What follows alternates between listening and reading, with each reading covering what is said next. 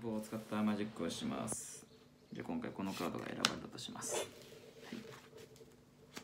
忘れないように覚えてください、はい、大丈夫でしょうか。このカードをしっかりと真ん中の方に入れてですねしっかり混ぜます。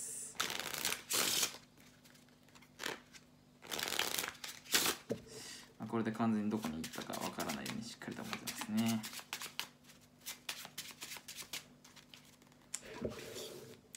もう完全にどこに行ったかね全く分かんない状態なんですがここから当てたいと思います。